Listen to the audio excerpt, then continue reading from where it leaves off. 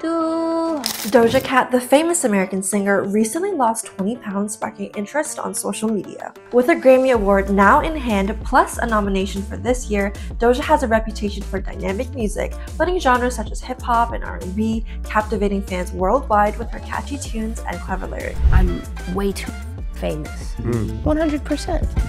I'm doing what I can slowly but surely to separate myself from this kind of narrative or whatever this world is that I kind of built. Born October 21st, 1995 in Los Angeles, California, Doja Cat is a Grammy-winning artist recognized for her diverse talents as rapper, singer, songwriter, and music producer. So there's obviously through genetics, you got some of that Oh, sauce. my, my dad is so good at dancing. He's a goated dancer. He She made headlines with her weight loss journey from 140 to 120 pounds, showcasing her dedication to a healthier lifestyle. Even though she was never called fat, Doja struggled with body dysmorphia since her teens. In a 2020 interview with Cosmopolitan Middle East, she mentioned her weight loss as a way to deal with how it affected her self-esteem. Doja's dedication and commitment led to a remarkable transformation, reducing her weight from 140 to 120 pounds. Now the before and after photos not only showcase the physical changes, but also show the positive impacts on her mental health. I guess, yeah. I mean, I was about to go on tour. We canceled that and I got my tonsils removed. Vaping, I don't know if that was part of why that was happening so much. Could have been. Nicotine is awful, it's a terrible thing. I quit nicotine.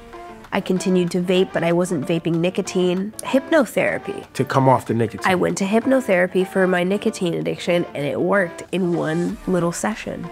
I walked into that building and walked out and never smoked another cigarette or vaped another nicotine vape ever again. In the second part of 2023, Doja Cat stood out by working with rapper 21 Savage on NHIE. As she blends her style with various music genres, she continues to strengthen her position in this vibrant music industry. First of all, I'm not a political person at all, but I do just feel like when it comes to that sort of thing, I have to just back away because that's not what I want to, something that I want to sweep into my life. In 2024, Doja Cat continues to be a strong presence in music, actively participating in new projects such as Jisoo for the Book of Clarence movie soundtrack by Jeymes Samuel.